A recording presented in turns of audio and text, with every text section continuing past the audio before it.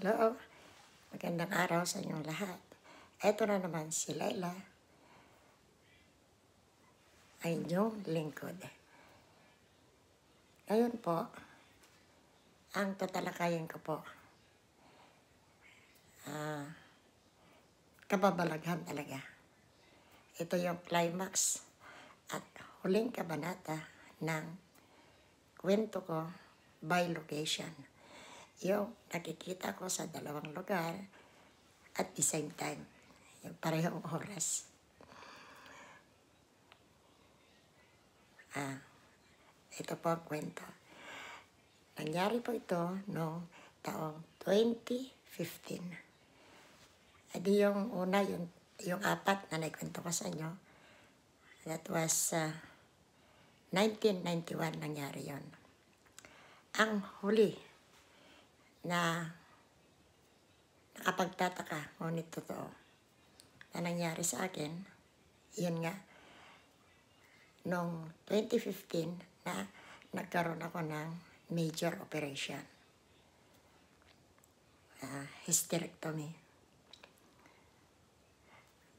Ang hospital ko sa St. Jude Clinic sa Olongapo City ito nangyari. Di, August 25, katatapos lang birthday ko noon. Birthday ko August 20. I was 75 years old then. Di, nabating na yung araw ng procedure. August 25 nga. Di, natapos ang operasyon, success, successful naman. Di, siyempre nasa hospital pa ako, nagpapagaling pa. Hindi pa ako mag sa bahay. Isang araw, dumating yan si Roda. Ito na naman ang kwento. Alam mo, Mang,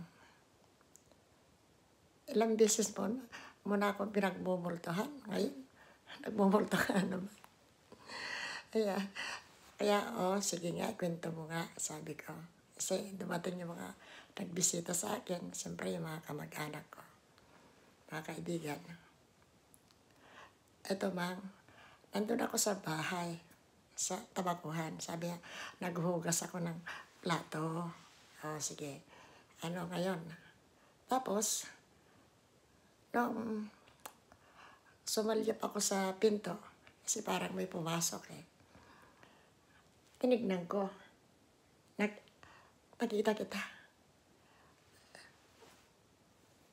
Tapos sabi ko, Oy, mamang, tapos na operasyon mo? Sumagot pa raw ako. Sag, ang sagot ko daw, ay, oo, oo, ang dali lang naman pala. Hindi naman pala mahirap yung operasyon na yan. Ah. Anong suot ko nung kwan? Ah, blade, sabi niya yun. Brown, brown, brown blade. Yan, spare, spare. At sabi ko naman, alam mo, Dora, nung nasa operating table ako, yun ang suot ko. Hindi pa ako nilalagyan ng gown. Yung jacket. Ayan, no? Sabi ko, tingnan mo, ayan, no? Ayan. Ay, yan na nga. Ay, grabe. Grabe naman na mangyari yon sa akin. Saka na makakita na sumagot pa ako. Tapos pagtingin ko, sabi niya, bigla ka naman nawala. Oh, yan po ang huling kabanata yang naganap sa akin na isang kababalaghan. Believe it or not. Maniwala kayo hindi, kailangan ikwento ko ito para yung mga apo ko malaman nila, ay, ganun yung lola ko. Alam niyo, sabi ng anak ko ngayon, sa Olonga po, ay, ma'am, huwag ka mag-iisip. Baka maya isipin mo, ah, pupunta ko yung Olonga, pupunta ko sa Olonga po. wag, wag mo i-apply man yung lakas ng isip mo ha, sabi na anak kong babae.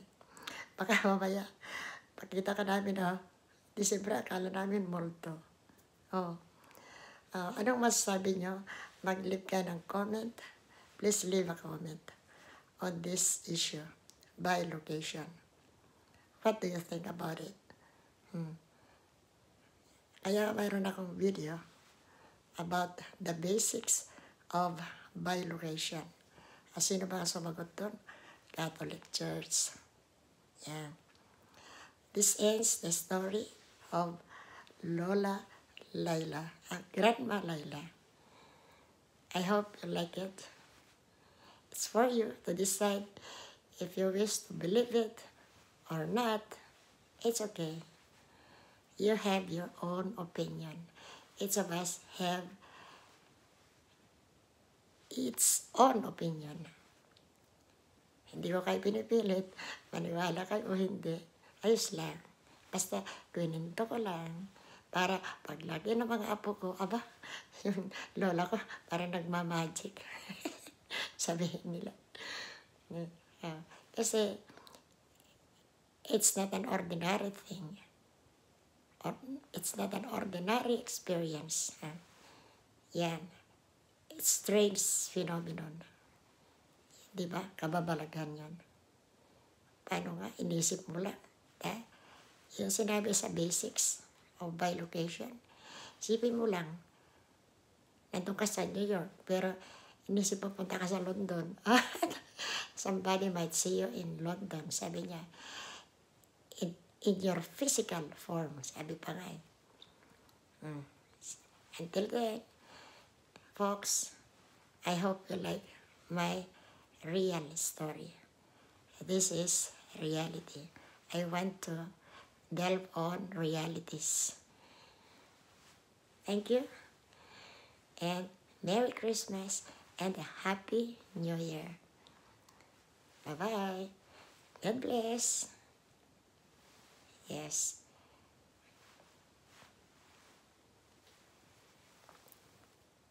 This is Layla, your host.